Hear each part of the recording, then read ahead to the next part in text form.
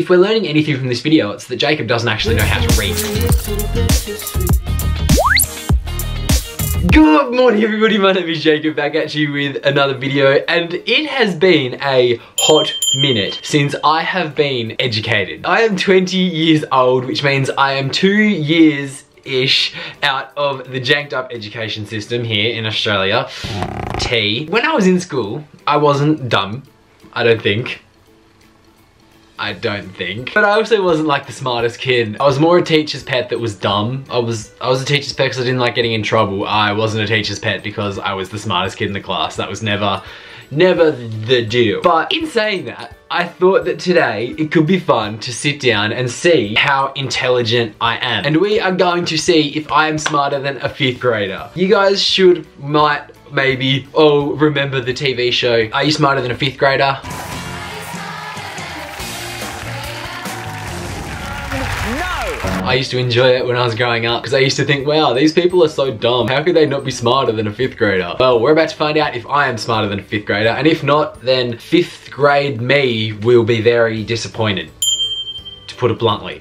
But let's hope that we can get our stuff together. When someone asks me, Jacob, what's a verb?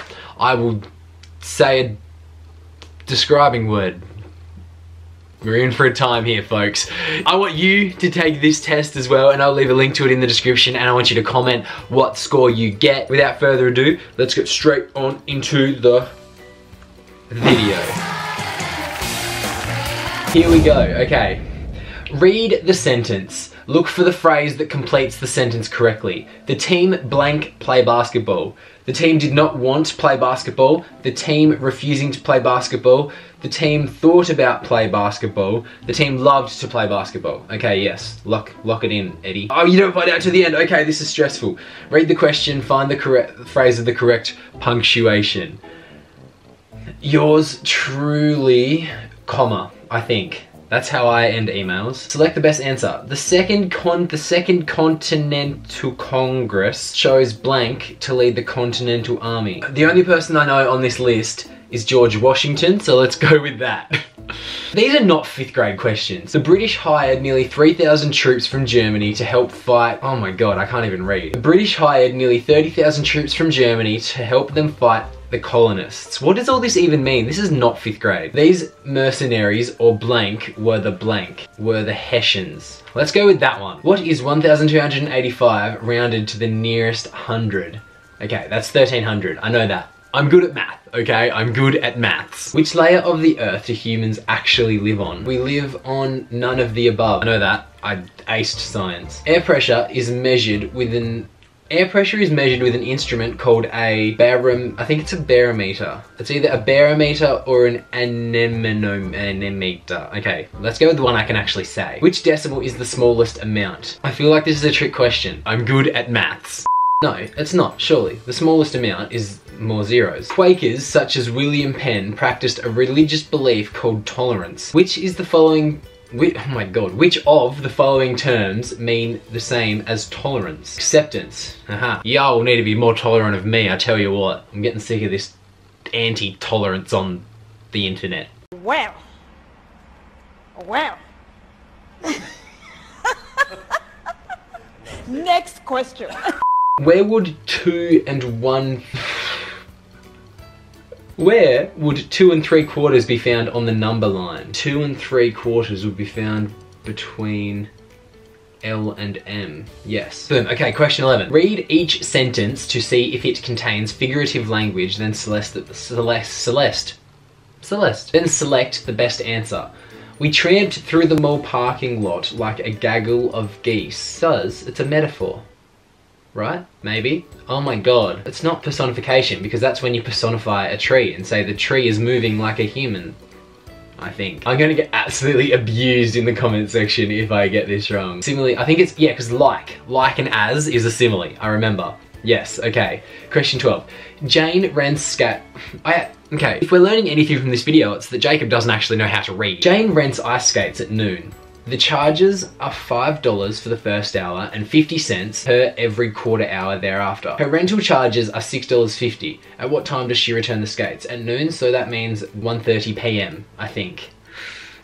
Select the best answer. Blank established a colony in Maryland where they could worship freely. I don't know. This is, is it, surely this is not what fifth grade Americans learn. Let's just go with them. I have no idea. Okay, second last question. Select the proper way to capitalize the word or words that complete the sentence. Blank told me I couldn't go to the movies tonight. My mom, my dad and mum. That one. Yes, because they are nouns, dad and mum, so they need to be capitalized and also the start of a sentence needs to be capitalized. Go Jacob. Read the problem carefully and choose the correct answer. Which of these figures are congruent? Ah, congruent.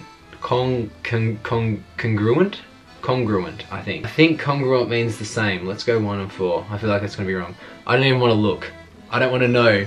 I don't wanna know what my answer is. what is it? Oh, you're joking.